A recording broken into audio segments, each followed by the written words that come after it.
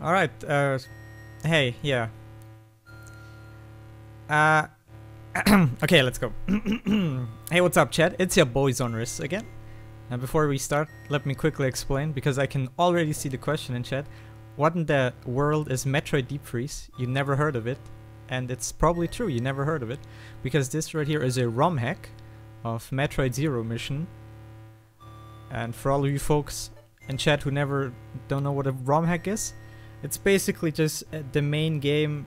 You take the main game and you fiddle with it, you change layouts, you change the game a bit, and there you go, you have a ROM hack. And that's basically what this is. It's a Metroid Zero mission in slightly different form. Alright. Run starts in 3, 2, 1, POG.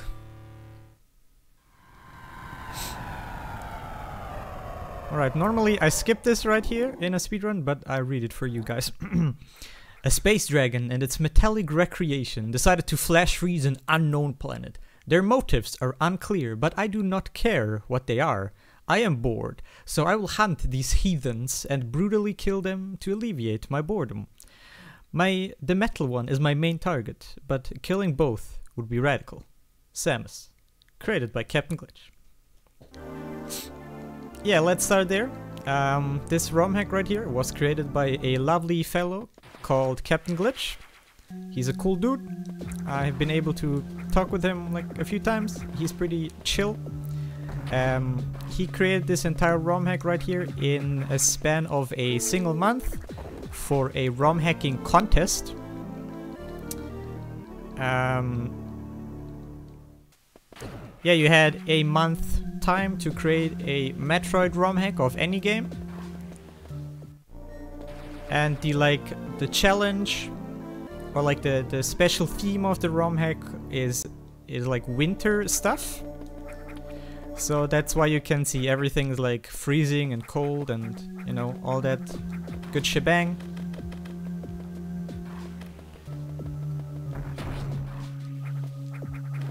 Uh, whoops. And yes.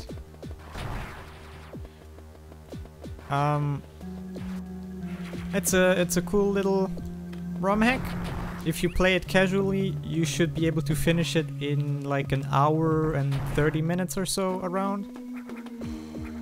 And I one day found this ROM hack by chance, played through it casually, and decided, hey, let's let's speedrun this ROM hack. This uh, this seems cool and that's exactly what I did. Because I also run the, the normal Metroid GBA games, so Metroid Fusion and Metroid Zero Mission, I thought this is like perfect. And yeah, generally, as it is in most Metroid games, you know, you play as Samus Aran, the space bounty huntress and you collect a bunch of cool items and stuff and kill the bad guys. Right here, um, as it should be shown in, in the overlay, this is the 100% category, which means we will be collecting everything there is to collect in this short but sweet ROM hack. Uh, that includes some missile upgrades, some super missiles, energy tanks, and um, power bombs, and of course all of the upgrades to the suit.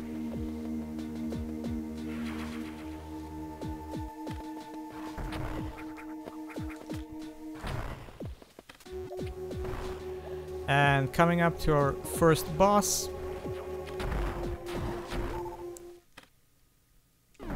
If you played Metroid Zero Mission, this guy should look familiar to you. This guy. And there you go. You shoot him a bunch with your missiles and he dead. Uh, funnily enough, he's also the only the only mandatory boss you need to beat in order to get to the final boss. So technically right now I could go to the end of the game and beat the game.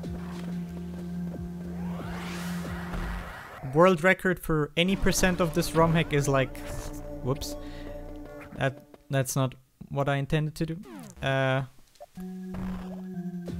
world record for any percent is like four minutes and 50 seconds or something crazy like that. I don't quite remember. It's really short.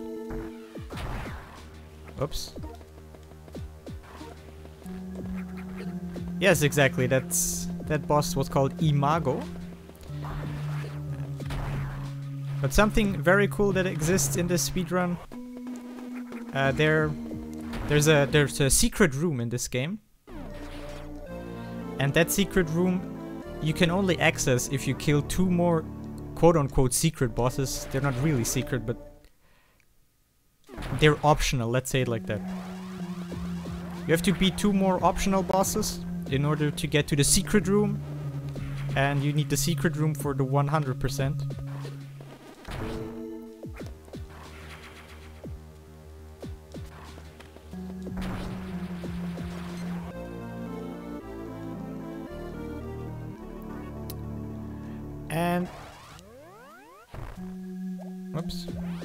Yeah, as it turns out, this is actually a pretty cool... A pretty cool speed game, because it has kind of multiple routes. When I first started out speedrunning this game, um, my initial route I came up with looks very different from what you're seeing right now. Oh, come on, really? Feels bad. Um, but there's another Metroid Zero mission runner by the name of... Hold on.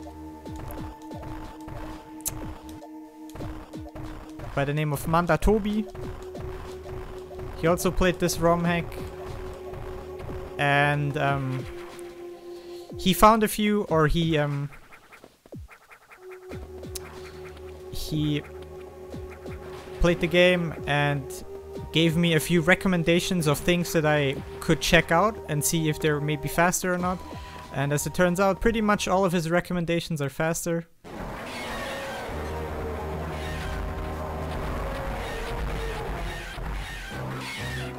And yeah, you might, oops, you might recognize this guy. This is one of the quote-unquote secret bosses. Uh, he's dead. Goodbye.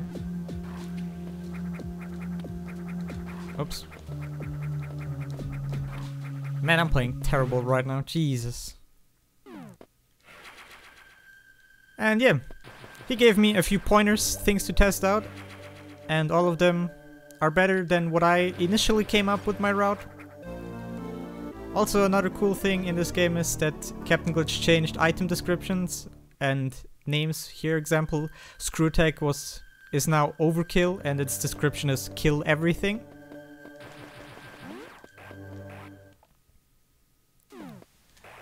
Screw Attack is generally one of the more uh, OP items in Metroid games. It's this uh, whirling energy whenever I do a spin jump right here.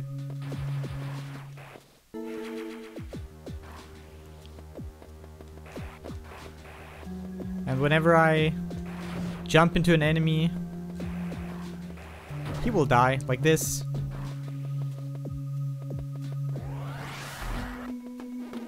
Oops. And plop.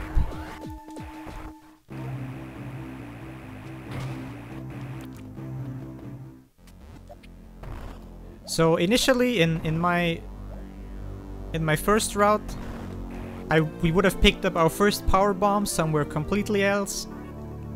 But now we're picking it up here because it's a bit faster. Oops.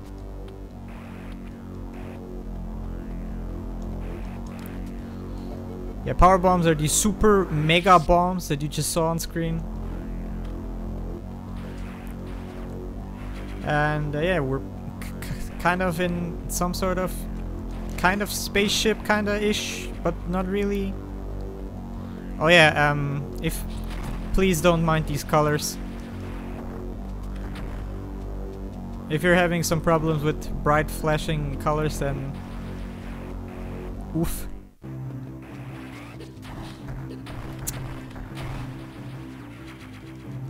They will come back at towards the end of the game, so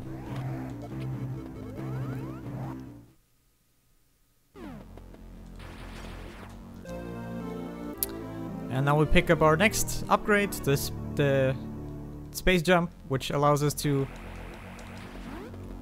um, jump mid-air a few times, or like basically indefinitely. Oh no, he saw me. Why am I playing so bad?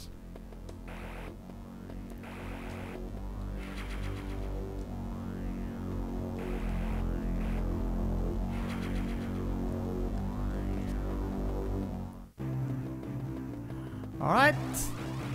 That's this part right here done. And now we're... Whoops.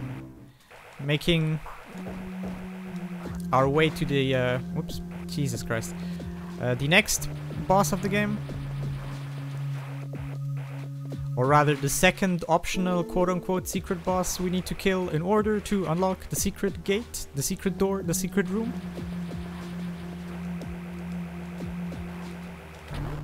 I hope you're staying for the secret room because I, I know you guys will enjoy it. The secret room is pretty cool. Here we unfortunately need to quickly refill because we're out of power bombs and you can only open the red gates or the red doors with power bombs.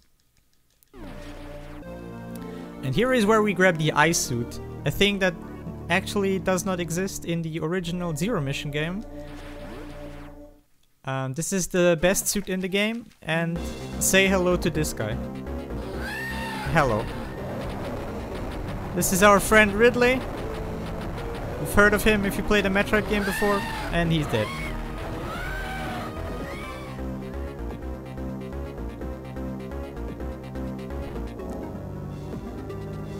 And now we killed both of the optional secret bosses. And now we can make our way to the, the cool room.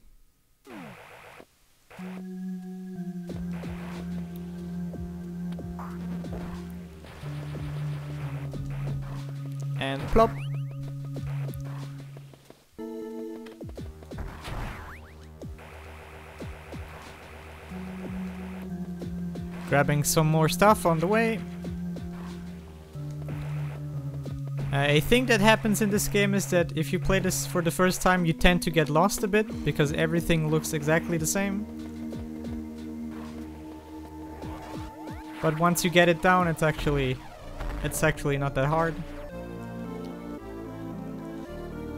So this room where I am right now, in my initial first iteration of the route, this is the first room we would visit and pick up all the items I'm about to pick up. Including the gravity suit right here, the second suit you can get. Which in this game is worse than the ice suit. Because the water on this planet is some special ice water. And you can't move freely in it with the gravity suit. You need the ice suit for that. So that's a neat little touch.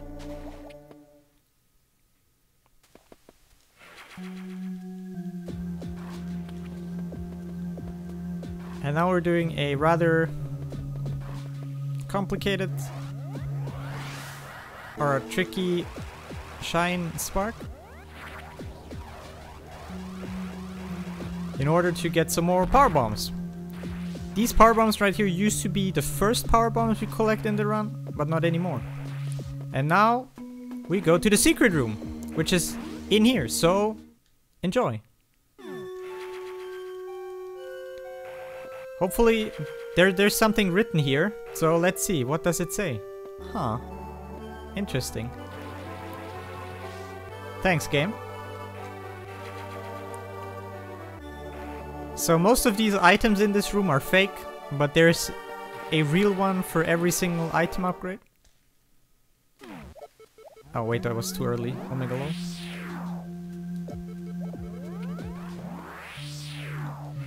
So yeah, in, when you get into the secret room it just says get good. So thanks a lot game. We just beat a, a bunch of bosses and collected a bunch of stuff and that's what you give us, so that's not very nice. But at least it gives us a bunch of items, so that's cool. So yeah, it has uh, one up, like one expansion for um, everything. One missile, one super missile, one power bomb, and one energy tank. And yeah, this mini boss also exists. You can fight against this guy pretty much at the start of the at the game or the run. But we don't because we don't need to. And the charge beam is kinda useless regardless in this game and in Zero Mission. And it's a bit faster if you kill him later than sooner. And yeah, now we basically have most things, so we're making our way to the final area of the game. Shine spark through here. And there are only two more items, two more items and one more upgrade left, and we should have everything, hopefully, in before jinxing myself.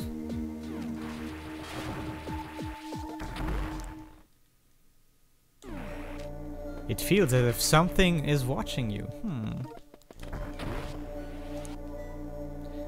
And there we go. Our last upgrade, the ice suit. Freeze your foes in the same way they froze the planet. And yeah, now we have everything. And conveniently, the final boss of the game is right here. Like right after you collect the ice beam.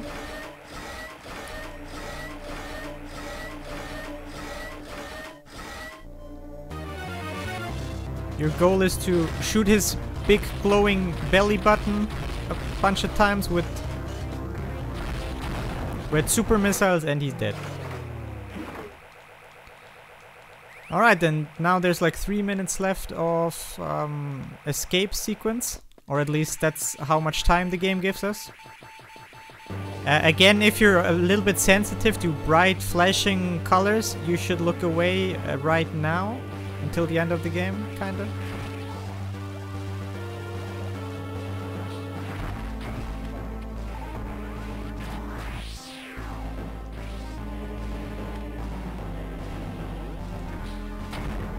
Also, the game tends to lag a bit because of all these bright flashing colors. If too much stuff happens at the same time, the game is... Yeah, the game tends to lag a bit. And the FPS goes downhill.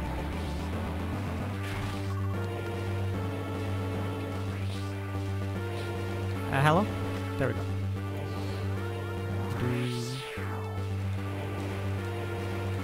Yeah, the game generously gives us five minutes to escape. We need like one and a half, maybe? Or like, yeah, one and a half sounds about right.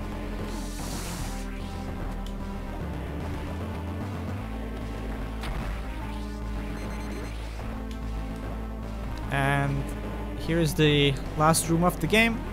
There's five enemies. Dead, dead, dead, dead. And time coming up in now time. Also, um, these space pirates are very smart and teamwork is their priority, as you can see right here. Ah, Too bad. And now we escape. As you do in your, like, as you normally do in Metroid Zero Mission, you go into the ship and just fly away while everything explodes.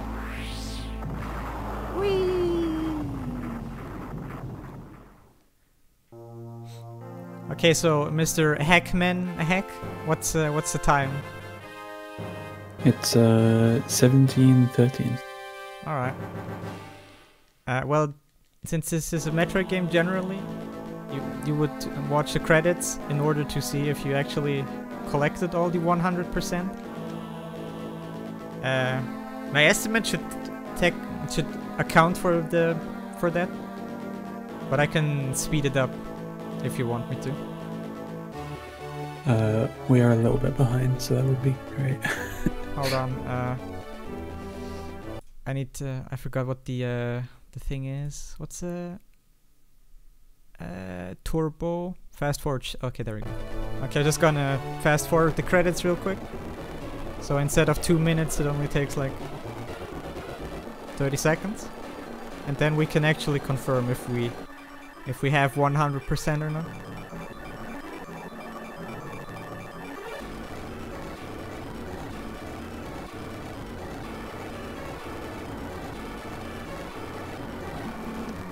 The music sounds so weird if you fast forward it.